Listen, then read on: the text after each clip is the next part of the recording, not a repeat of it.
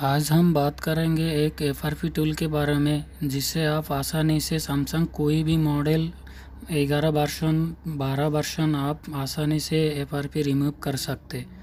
यहाँ पे आपको इमरजेंसी में जाना है, इसमें टाइप करना है star hash zero star hash फिर आपको देखना है एसी एसी मोड में यूएसबी कनेक्ट करना है और एफ़ आर पी में क्लिक देना है। फिर दोस्तों देख, देखते क्या हो रहा है।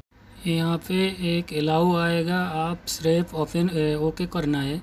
फिर आपको एफ़ आर पी रिमूव हो जाएगा वो फ़ोन ऑटोमेटिकली रीस्टार्ट करेगा।